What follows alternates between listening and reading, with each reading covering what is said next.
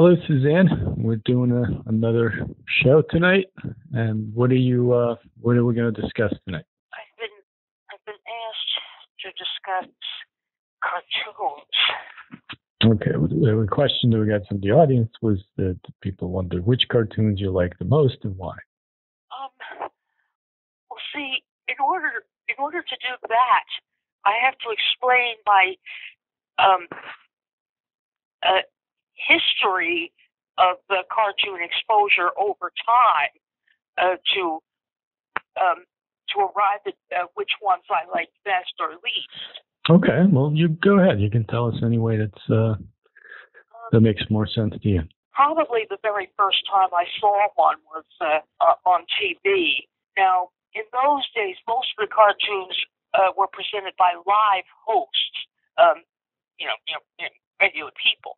Um, so it was interesting to see this contrast, this different kind of uh, uh, movement among uh, animated uh, in, in contrast to uh, um, living beings. One of the most popular to come my way when I was very little was the uh, Mickey Mouse Club. Okay, so that was the first time you saw cartoons, or first time you remember? I might have, I might have channel hopped earlier and just happened to catch in on the uh, animated animals. Uh, do you remember which one? Um, those that were shown on uh, uh, Mickey Mouse and the uh, um, Mighty Mouse uh, uh, cartoon shows. Which one did you like more, Mickey Mouse or Mighty Mouse? Well, by the time Mighty Mouse came along, I had already been exposed to the Superman, uh, a, a flying hero. Um, Mighty Mouse was also an aerialist, so I liked him more than I liked uh, the the Mickey Mouse attractions. Um, but also uh, something disturbing about the Mighty Mouse cartoons was that the uh, the adversaries would um, involve innocent living beings, usually animals, and get them uh, in dire predictions with the with dramatic music in the background. Uh, I remember there were a few examples of his uh, of of an adversary uh, letting loose uh, a carriage or a cradle of baby animals who would would who would be scream, screaming and crying for their lives, and uh, I I I I grew frightened and sad at that. Okay, so the the animals in distress made you sad. Yes.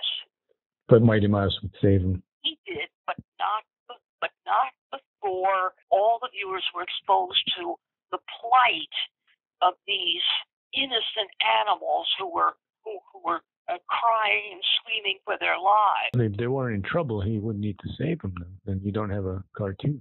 The cartoons that I saw later on um, didn't have nearly as much uh, conspiracy or uh, malice uh, uh, toward uh, toward other characters. Um, the Hanna Barbera uh, cartoons, I think I liked the the best as a child because they were they were family friendly. The stories were sensible, and uh, and and the characters uh, were rather believable and down to earth. Um, well, the overwhelming majority of them um, were animals, but um,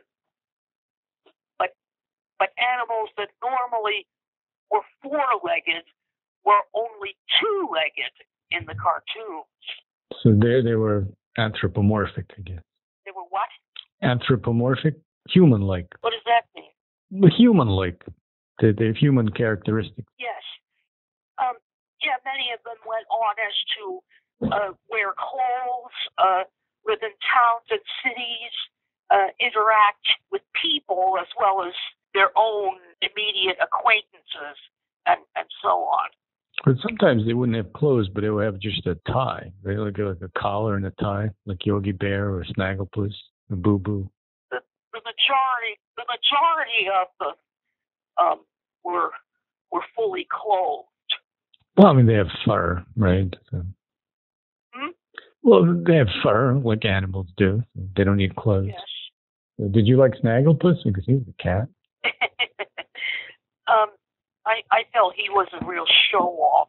um, sometimes parroting uh, Shakespeare or some other great poets. Would you, you like Snagglepuss or Mr. Jinks better? I think I think it was a toss up. Okay, how about Tomcat? Tomcat? Yeah, Tomcat, Tom and Jerry. No, I didn't. I didn't like those cartoons because they, were more prone to violence and malice uh, against um, um, the two mice, uh, Jerry and uh, uh, Tuffy. Tuffy, I think his name was. I didn't like how uh, how Tom the cat was always uh, pursuing them because he because he would wind up in uh, um, you know disastrous situations at the end of the story uh, as a as sort of a punishment for um, his malice. So there, there are quite a few cats, Hanna Barbera, right?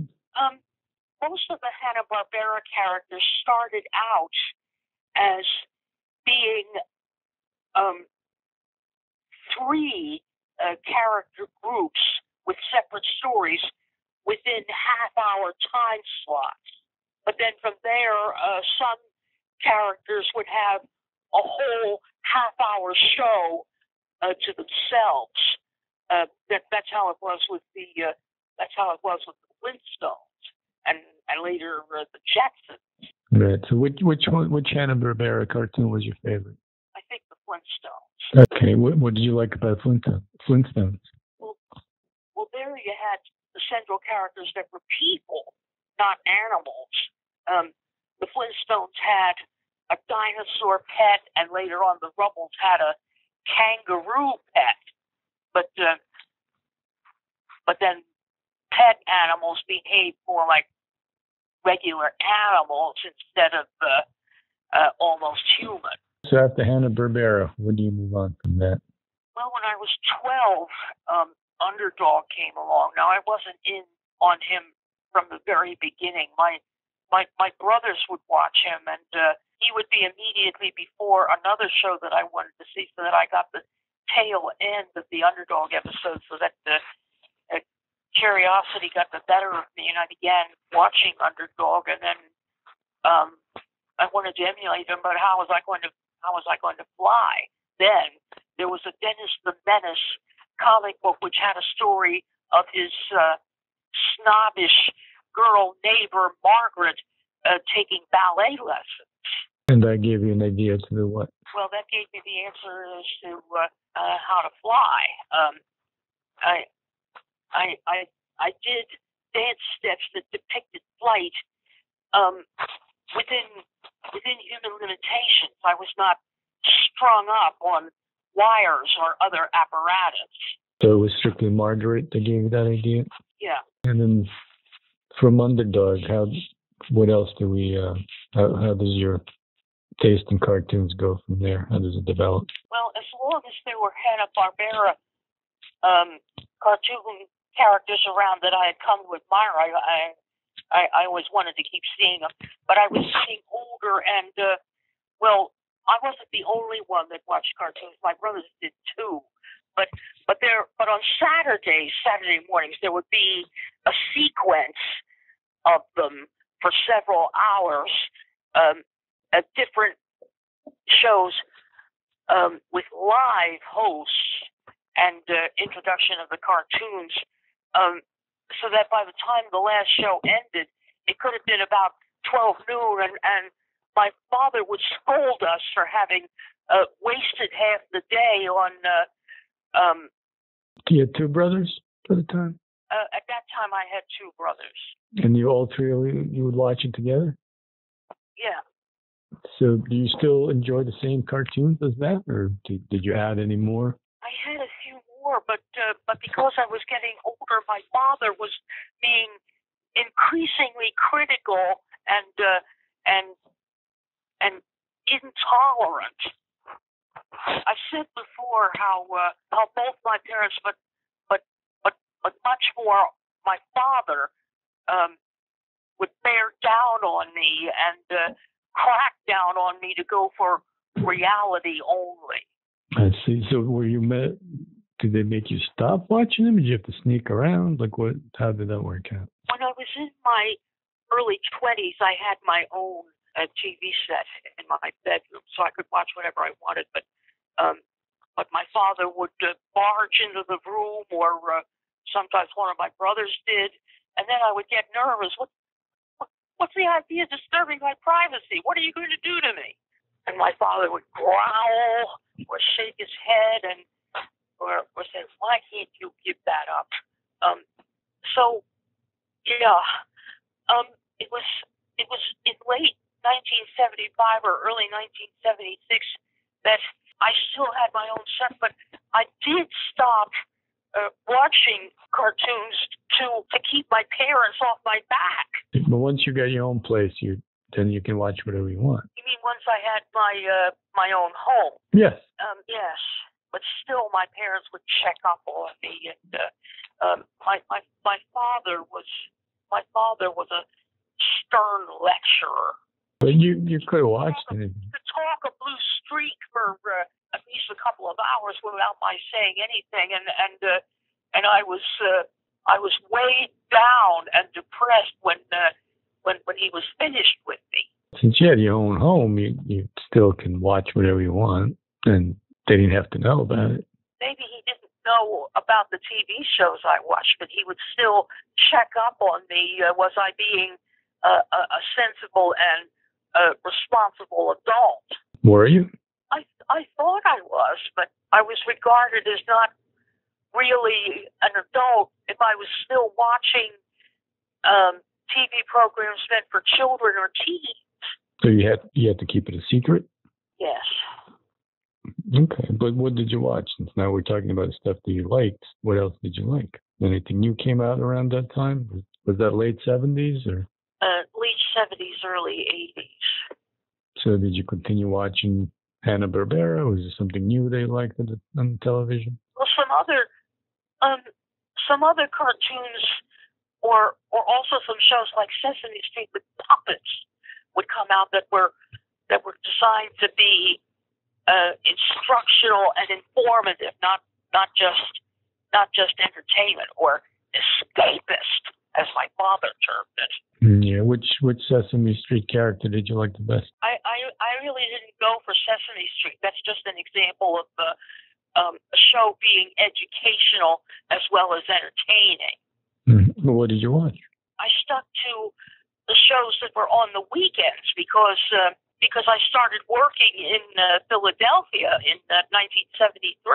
There were the Smurfs, uh, a colony of small blue elves who uh, who had some personalities among them and had to learn how to live better lives. Right, that, that's a, originally a Belgian cartoon, I believe. Well,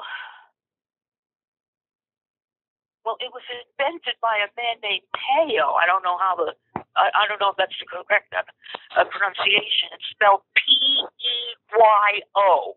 Right. That was a, that was a comic artist in Belgium, but that was his. Uh, I believe that was a pseudonym that he used for his art. But what did you like about Smurfs? They were more realistic than uh, many other um, uh, of the uh, cartoon animals. They were uh, well, they were closer to being human because they were uh, they were elves living together. Yeah. Did you uh did you like Gargamel's cat? Yeah, I, I liked Gargamel's cat, but I didn't like um, Gargamel always being put on the prowl to uh, uh, to find uh, the Smurfs colony. The only adversary they ever had, and uh, and he was used in just about every story, so it got kind of tiresome. Was he trying to eat him? Is that what it was? We're trying to find him and eat him. What? Was he trying to eat uh, the Smurfs? Who? Gargamel wasn't that the point? He was trying to catch him so he can eat him. Is that am I wrong? Um, Or was he? No, he was trying to turn him into gold, right? That's what it was. he, he was always looking for their colony so he could uh, uh, wipe them out. Right. Yeah, but I think for some reason I thought it was going to eat him, but either that or somehow that stuck in my head, or, or he was trying to catch him and turn him, in, destroy him, and make him turn him into gold somehow. I never heard I never heard him say that he was trying to turn the Smurfs to gold. Well, I, don't know, I haven't seen it in a long time. That somehow stuck in my head. But then, did you like? uh What was there was a lady Smurf, right? Smurfette. Yes, Did you like her? Yes.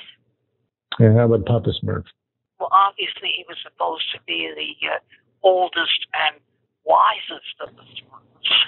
In in the 90s, there was there was a cartoon series that was uh, very timely and also educational. Uh, Captain Planet and the Planeteers. Since 1970, uh, people were uh, becoming um, preoccupied with the environment and and, and how to improve it. Um, so the Planeteers emphasized real life uh, pollution problems or other ecological problems and, and how to correct them. So what what did, did that's why you liked them because of their uh, I guess you would call them green nature. They were they were much they were much more realistic. They were uh, um, although they were fictional, um, they were uh, believable enough to pass for real. Okay, do you have a favorite? No. You liked all of them, or you just like the idea of them? I I like all of them. So they they had. Uh, you watched it probably, and you remember better than I do. I, I kind of know a little bit about it. Um, didn't they have characters from different parts of the world? Like each character was from somewhere else. The Planeteer. Each each Planeteer was from a different part of the world. Yes. Do you remember how they broke it up? Um, this spirit of the earth uh, summoned them together, uh, endowing them with the uh, magic rings, one one for each earth element. And what who were they fighting? Like who was the who were the bad guys? Um, um, there was a mad scientist. There was uh, um, there was the litter bug. There was uh, um, a radioactive mutant.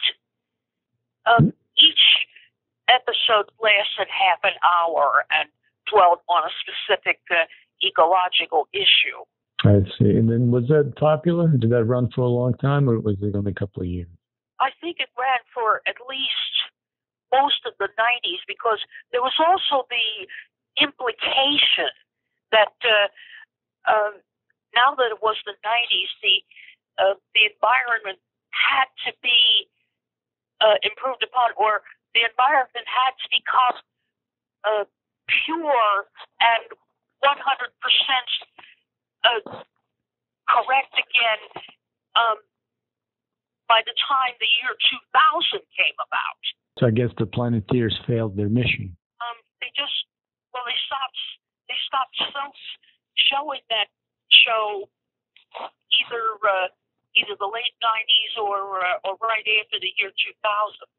I see. So that was your favorite of the 90s. How about 2000? Do you have anything from 2000? I really didn't have um, any favorite cartoons once the 20th century started because uh, all these TV channels were um, uh, grabbing them and uh, uh, making them more difficult to find in, in the more complex uh, TV systems of the uh, networks and pay-per-views and things like that. Since I was working in those days, um, I was occupied, you know, most of the weekday uh, with my job, and by the time I got home, the cartoons would be gone, and you'd be seeing you'd be seeing game shows uh, or uh, or movies originally made for TV or movies that had been in the uh, commercial theater circuit and now had made their way to TV. Right. So, so what do you watch today? Like, what what are your favorites at the moment?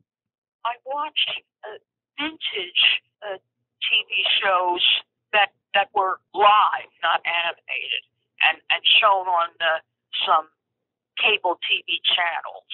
But any cartoons do you that you enjoy watching today, like at present? I I can't find any.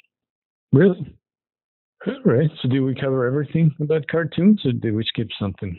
That's well, that's about it. That's about it. I uh, I explained my uh, case history with the cartoons and uh, other forms of uh, of television. Why some uh, were more educational, some were more realistic, um, others were discontinued after a while, or like I said, um, old time ones were taken away, and and you couldn't find them except on the, uh, a cable channel or um, nowadays these um, intricate TV systems that uh, uh, take old time shows for reruns. All right. Well, that was a that was a good answer, a good conversation about cartoons. Thank you very much for answering that fans question. I'm sure they'll be happy to uh, listen and, and and get the answer to what they're wondering about. So maybe next time we'll discuss television shows like the regular ones. Well, well you mean live action ones? The right, right, live action, correct. Yeah.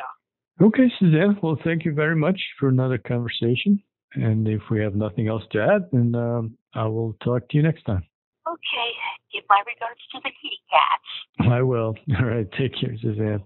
Okay. All right. Bye.